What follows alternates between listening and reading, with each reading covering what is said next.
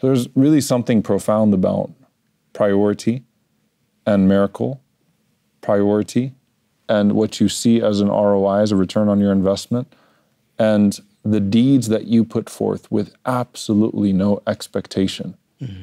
of a dunyawi return, of a worldly return.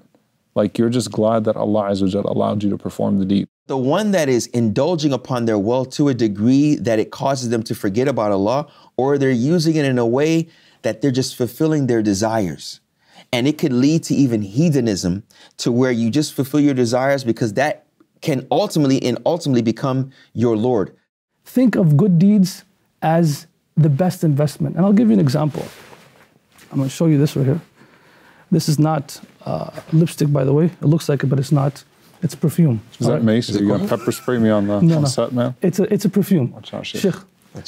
Check this out. The Prophet he said, Aliyul ulya khayrum min sufla. Mm. The upper hand is better than the lower hand. And the upper hand is metaphorically said for the giving hand, and the lower hand is the receiving hand. But when the Prophet ﷺ would give hadiyah to somebody, how would he give it? He would give with his lower hand. Assalamu alaikum wa rahmatullahi wa barakatuh, everyone. Welcome back to Quran 30 for 30. The question from yesterday's juz which prophet was sent to the people of Al Hijr? So please go ahead and answer below, bidnillahi ta'ala. And inshallah ta'ala, with that, you want to welcome, of course, Sheikh Abdullah Oduro and this guy, Mufti Abdul Rahman, Waheed, mashallah. The one and only. The one and only. And just came from the goat of UFC to the goat of da'wah, mashallah. Oh, man. Sheikh Abdullah or me? I, I, none of you. Oh, okay. Someone else in the room. Why you guys think I'm talking about you guys? MashaAllah, MashaAllah. And um, the vest is nice, man. Jazakallah khair. Well, yeah, it's nice. You want it? I'll give it to you right now. Always trying to, wow. always up in the game, man. MashaAllah. Did you just come from a wedding? Did you fly in that? I, I flew in this, yes. You flew wearing this? yes. That? What are you doing? Everyone's looking at me. That's your da'wah? That's my da'wah. The turban was enough, Sheikh. Well, um, who said I was wearing a turban? I was wearing a baseball cap. a baseball cap with that? He's just judging me, man. Musiba. Musiba. May Allah subhanahu wa ta'ala forgive you. but alhamdulillah, man. We're happy to have you as always. Man. Thank you so much, Of course, I don't know, do, do you associate with Miftah? Uh, I, I think, isn't Miftah like owned by Yaqeen? No, it's not owned by Yaqeen. It's a subsidiary, but yeah, it's a, it's, yeah, a, it's, a, it's a Michigan branch of Yaqeen. I guess so. I guess so. That's a DBA. Keep an arm's length just for liability purposes.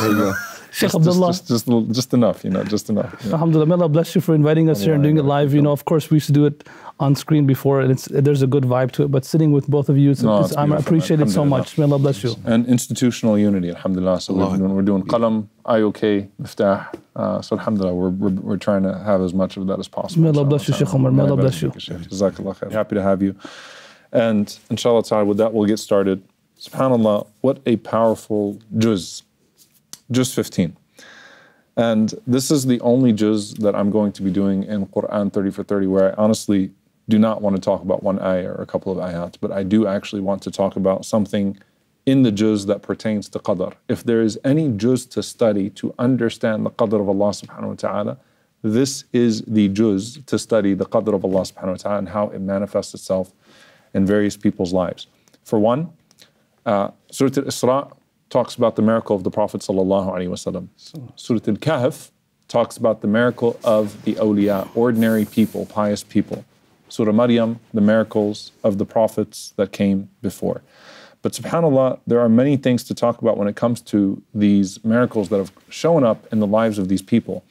For one, what was a miracle for one group of people is almost always a punishment for another group of people in the, in the situation of these. And there, there are a few people um, that this is not uh, applicable to. So, with the miracle of the Prophet ﷺ came punishment of Mecca.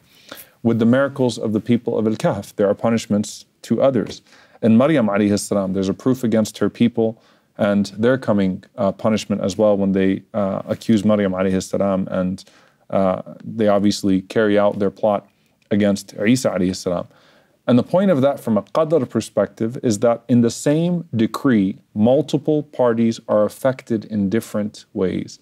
And of course, in the process, have their qadr altered, their divine decree affected and altered.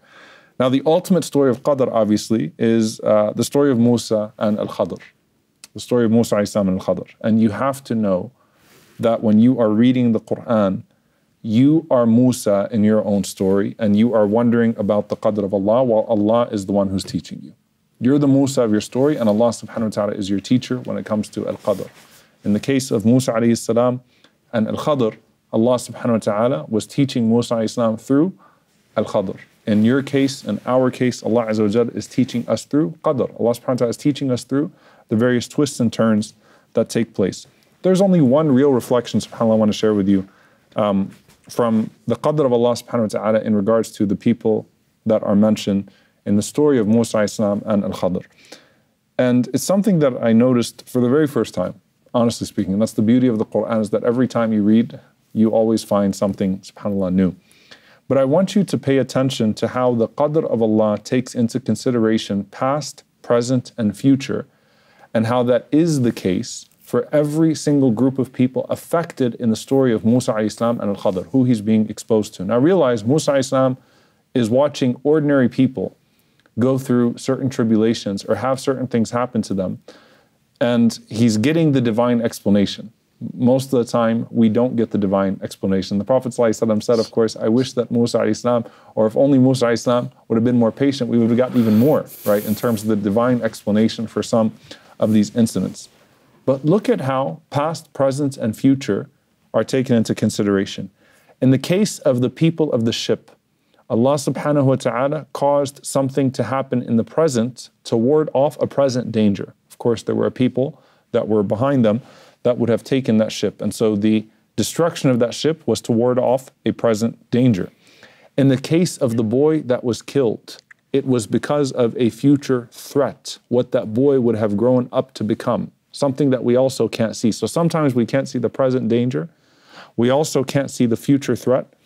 And in the case of the people for whom Musa salam and Khadr built the wall, it was due to a past good deed, right? The, the father that came before that was a righteous father. And that shows you, subhanAllah, that when Allah Azza is in control of every single situation, it's not just taking into consideration the present and what you can't see of the present Allah subhanahu wa ta'ala knows what has been and what will become and what would become. And Allah subhanahu wa ta'ala decrees perfectly with all of that taken into consideration. And that's part of how we come to terms with the beauty of the qadr of Allah subhanahu wa ta'ala. Now, obviously, all of us can find ourselves in a situation where there is a present danger that we don't know about, or a future threat that we're unaware of, or perhaps we're benefiting from a past good deed. But at the end of the day, None of us will have the divine explanation given to us here. It will all be on the day of judgment. And that's why the only way a person comes to terms with the qadr of Allah subhanahu wa ta'ala is by their comfort in knowing that Allah Azza wa is the one who's planning and that everything will make sense and everything will be rewarded on the day of judgment. Should we respond with tawakkul, may Allah subhanahu wa ta'ala make us people of trust, people of tawakkul, people of reliance upon Him. Allahumma ameen. With that, I'll pass it to Sheikh Abdullah. Barakallahu fikum. Bismillah wa salatu wa salamu ala rasulillah wa ala alihi wa sahbihi wa man wala amma ba'd. In regards to trust and tawakkul, and particularly in the case of what he was mentioning with Musa and Khadr, the trust in Allah subhanahu wa ta'ala of not knowing and subhanAllah moving forward and having full certainty in his knowledge and his beautiful attributes that he possesses subhanahu. Also, trusting the fact that what Allah subhanahu wa ta'ala gives you is best for you. And whatever he gives you, we don't use it in a way that is not befitting. We don't use it in a way that only satisfies and fills our nafs, our desires, what we desire. And that desire does not coincide, does not agree with, does not comply with the system that he has given you, the sharia. Allah subhanahu wa ta'ala speaks about this in Juz 15, particularly uh, in chapter of Isra, verse number 26 and 27 when he speaks about the concept of tabdhir, and tabdhir is spending wastefully, even as some scholars mention, even wastefully in that which is mubah, that which is permissible. It's not halal, it's not haram. So, for instance, buying clothes, uh, buying things that you may need is that which is considered, could be considered mubah, right?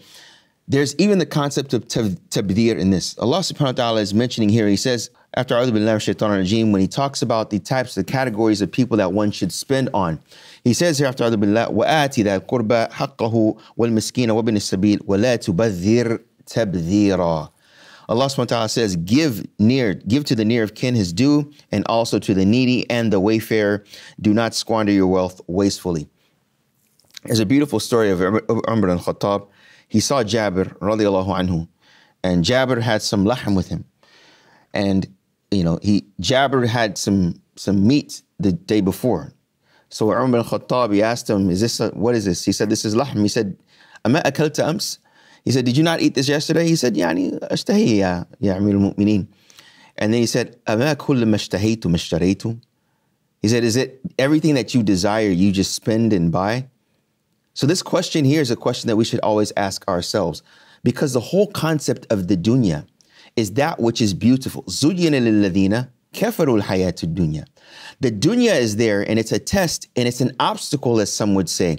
It's a test for you because it's going to see, Allah is going to see how you indulge upon the dunya because what you use there is from the dunya that you need. No doubt about it.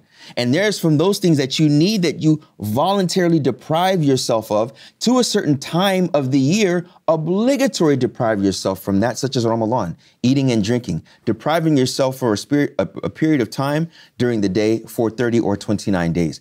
Here, tabdir is where you spend even in that which is permissible and mubah, but you spend over too much to where it can cause you and divert you from spending in that which is good, especially if you do not spend in any type of charitable events or charitable causes. So Allah subhanahu wa ta'ala, when speaking about this, He's telling you to give to these categories, give to the near of kin. So to your relatives that may need something, and also to the needy.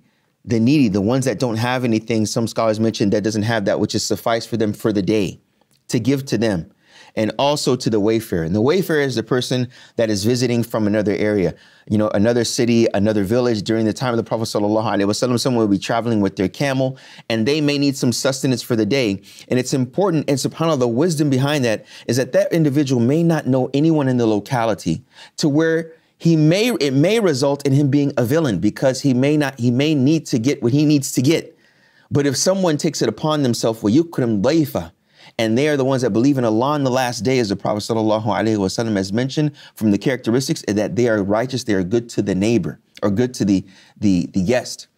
So giving to these people, which is suffices, some mention for one night and one day to assist them to go upon their journey. But the one that is indulging upon their wealth to a degree that it causes them to forget about Allah, or they're using it in a way that they're just fulfilling their desires. And it could lead to even hedonism to where you just fulfill your desires because that can ultimately and ultimately become your Lord. To fulfill just whatever you want to do, Allah has blessed you with money, but you use it in a way that is not befitting and it could be looked at or in reality, to where one loves the dunya and they hate death. They despise it. They don't want to hear about it.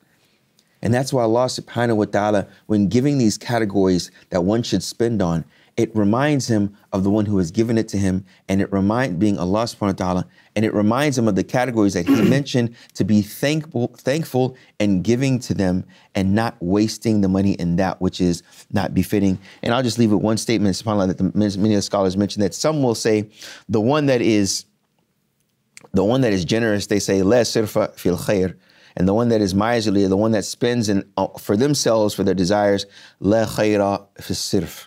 Meaning that there is no, when we spend in good, we don't even consider this spending because it's in the good. It's, it's that which is good. We're not losing anything from it. As the Prophet said, that charity does not decrease wealth. But then those that may be miserly and they have tabdir and they spend in that which is not beneficial or they fulfill their desires when spending, is that they say, La There's no good and, and, and, spending in this fashion. So we ask Allah subhanahu wa ta'ala to make us of those that recognize what we have been given us from Allah and whatever He orders us to do or recommends for us to do, to give for His sake, even though at times it may be uncomfortable, it may be something that we may not be used to, but doing it with the right intention is that which can help you and help others. Without a doubt, it is worship. And that is a pleasure with what Allah has placed on this earth. May Allah subhanahu wa ta'ala make us of those that are pleased, pleased with this qadr, past, present, and inshallah what He has there for us in the future. Jazakallah khair, Sheikh Abdullah. May Allah bless you and Sheikh Omar. Um, you guys gave me five minutes. It takes me 10 minutes to put my imama on, my turban on. So you make me speak only for five minutes. But may Allah bless you guys. As I was sitting here and thinking, uh, there is there are three verses, but they're all connected. Verse number, I'm going to pull Dr. Zakir Naik on you guys. Verse number 7, uh, verse 15, and then verse 46 of the Verse number 7, verse 15. Verse number 7 of Isra, Okay. verse 15 of Surah Isra, and verse 46 of Surah Kahf. All right, here it goes. This is an interesting thing, okay? Now, you, why, why when you, listen, when you talk to me? We're ready. I'm ready to hear it. We're happy. I'm going to drop it now. Okay? All right, go ahead, Bismillah. So, first, the serious part.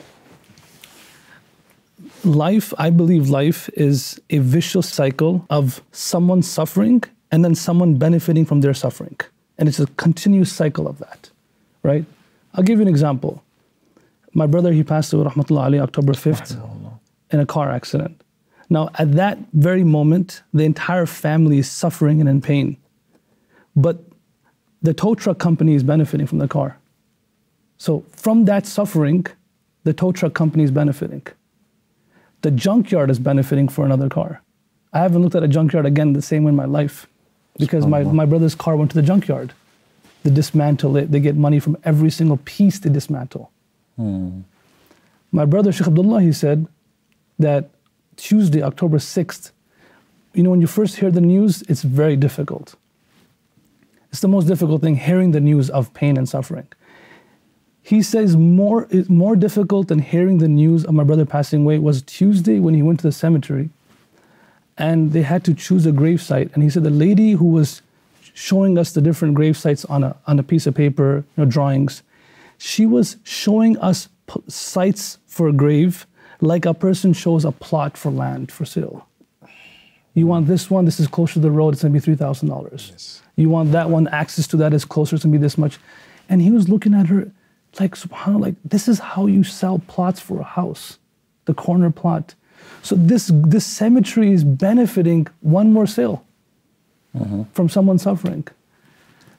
And subhanAllah, Allah subhanahu wa ta'ala, He tells us in the Quran, verse number seven, In ahsantum, ahsantum anfusikum. You do something good, the first one to benefit from that is yourself. You're not benefiting Allah. When falaha.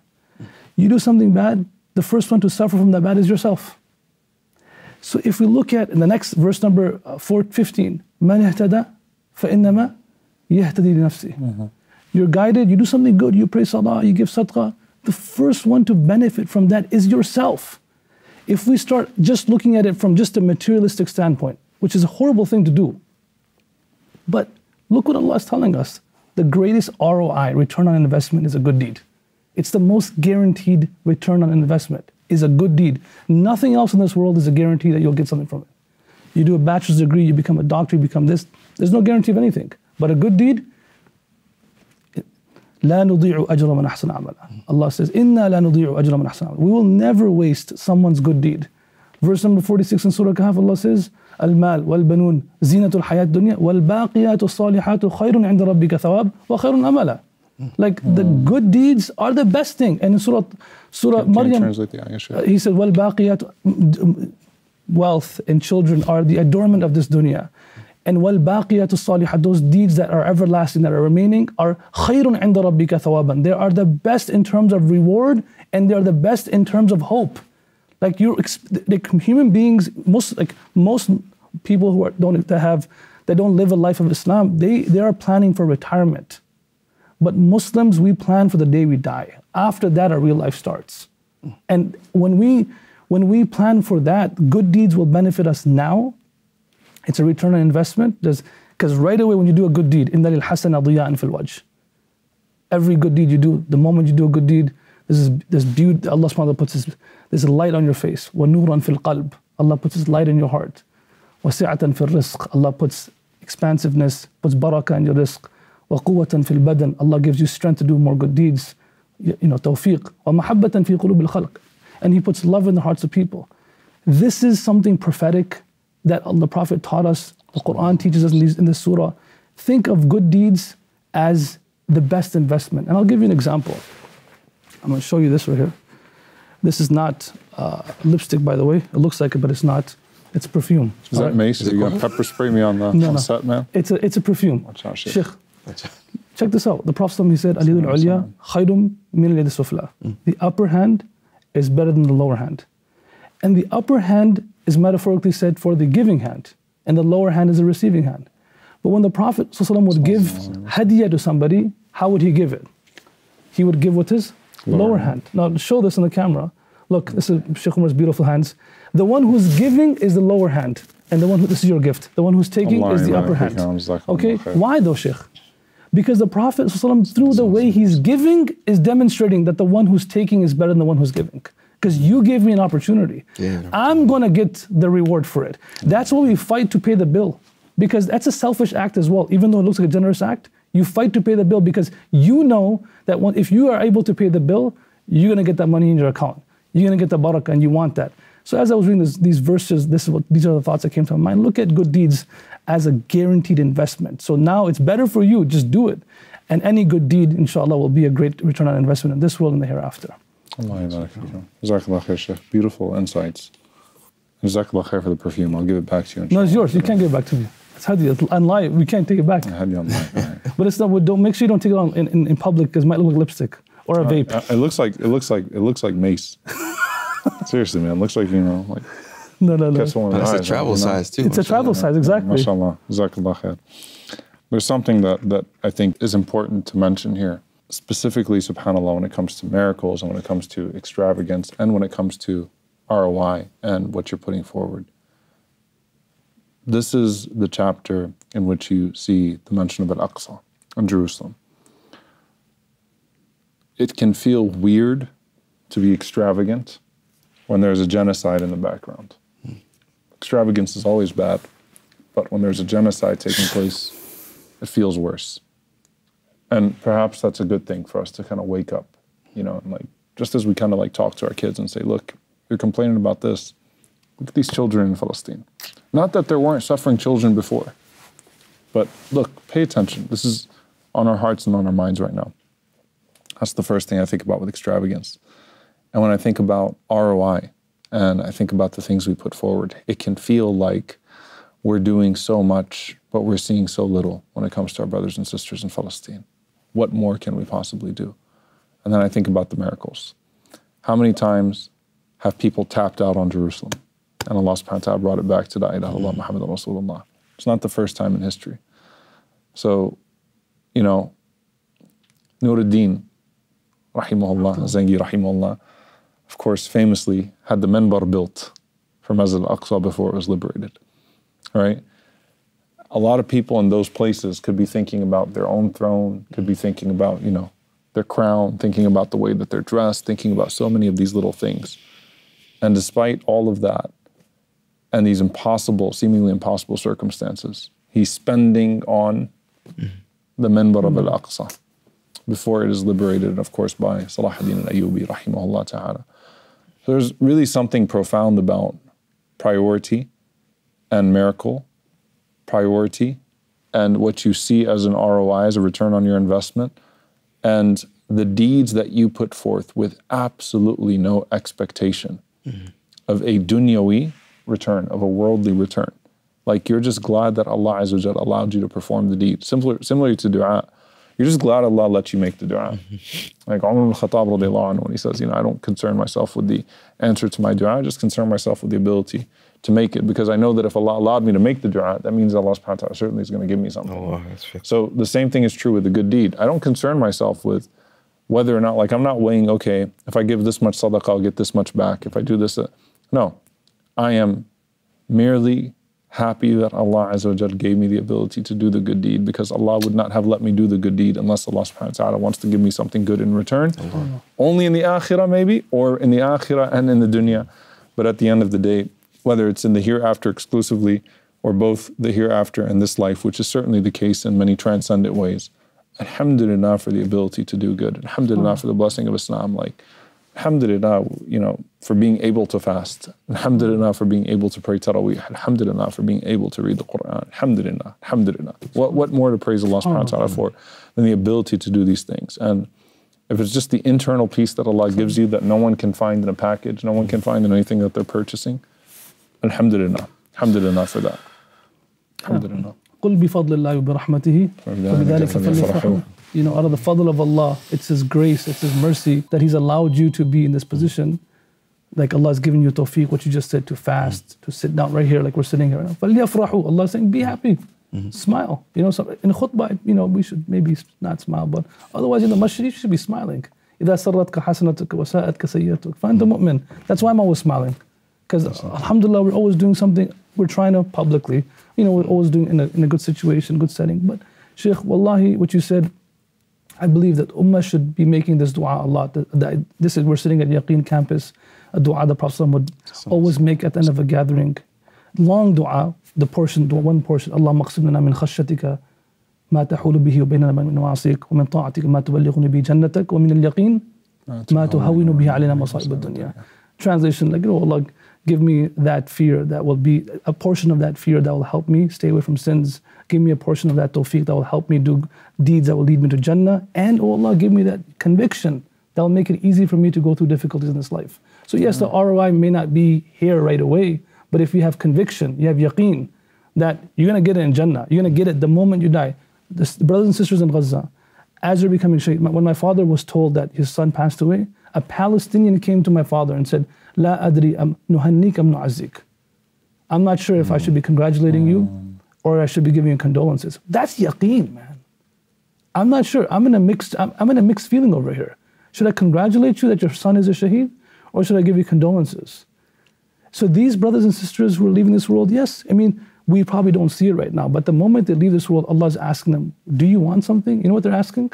Oh Allah, send me back so I can become shaheed again. Hmm let's let's not be the ones who when we leave this world, Allah, you know, and we're instead of Allah asking us, we're asking, oh Allah, please send us back.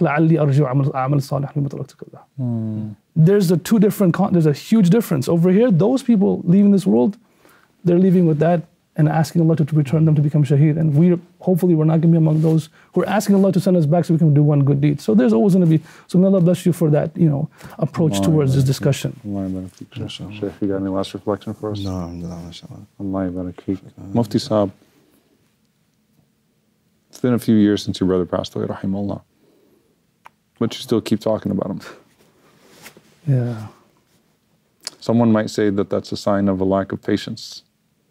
Of course, we know that not to be the case because the Prophet still remembered Khadija radiallahu anhu, anha all these years. Remember our loved ones all these years. How can you actually show that grief is in fact tied to gratitude? honestly, um, I'll, I'll just share like this on this last week on Monday. I went to do ta'ziyah aza for a family in Phoenix who lost their son Talha over the weekend in a car accident, and uh, he passed. away- Beautiful family, by the way. Of yeah, course. Well known. beautiful family. And so I went for, uh, Monday morning for their Allah aza, reward you. and uh, the only son of the family is Sheikh Abdullah. No, they have no other children, just one son. We have five brothers, and we lost one. And when I went to visit them, like the pain and suffering that people are seeing in Gaza has actually made it easier for them to go through the suffering. The same thing with Brother Aftab Diwan here. Our guy here, Yes, sir. when he lost Hadi, Abdul Hadi. They mentioned that him and his wife, Sister Hanifa, may Allah subhanahu wa ta'ala bless them, when they lost their one son, Hadi, rahimahullah. Uh, he was saying on the way to the graveyard that what's happened in Gaza has given them the ease. Like just a dignified burial Exactly. is in and of itself a ni'mah that we thank Allah for now. subhanahu wa ta'ala. So I, I was thinking like, man, if my brother passed away during this time, it might have been easier for us, you know, like because we've seen what's going on, you know. But the reality, and I look then I look at Sahaba like there's there was probably no home in Medina that didn't have someone who was shaheed in Uhud, and so there are people who are grieving, giving condolences to others who are grieving, and and the Prophet ﷺ had the people of Badr of Uhud in his heart and his mind always present, always go there and you know say salam to the people uh, and make dua for them. So I believe there's a lot to be taken from that. I mean, when I I believe my brother is leaving this world. Of course, we, we're grieved and a lot. We're we're in so much difficulty. I see my mom every day, speak to my father. It's always there. But Alhamdulillah for teaching us so many lessons from his from his death. Alhamdulillah for the love that Allah has given us after He left this world. Alhamdulillah for the, the tears that we are allowed, we, we are we can shed in du'a now. Before it was harder. Like I go mm-hmm. I go to Rawda. I be honest with you, I, it was it was there was a challenge to cry whenever I wanted to, even though that's not the objective of du'a. But it's you know I was I'm in Rawda. And now I'm in Rawda of the Prophet ﷺ and I'm making dua and sajda. Allahumma ja'al qabr akhi rawdatan min riyad al-jannah. you know, it's just like Oh, Allah subhanallah make my brother's grave a garden from the gardens of while I'm in the garden of Jannah in this world. So yeah, I mean, it's not that I, th- I think about it, it's not that I plan it, but it always helps you. So uh, there's always some hikmah behind this grief and the destiny of Allah subhanahu wa ta'ala. So it just comes out, Sheikh. May Allah have mercy on him and Ameen. accept him as a shaheed. Ameen, ameen. Jazakallah khair for always being so vulnerable with this man. Uh, we love you and uh, love having you here. And subhanAllah, I remember when he passed away, and obviously we had our webinar in COVID. We were talking about how we're dealing with grief. And Allah subhanahu wa ta'ala have mercy on him and accept him as a shaheed and make it easy for you and your family. Um, we ask all of you, inshallah, to please make dua, inshallah ta'ala, for him and to make dua for the family. Barakallahu feekum. We'll see you all tomorrow, inshallah. Assalamu alaikum wa rahmatullahi wa barakatuh.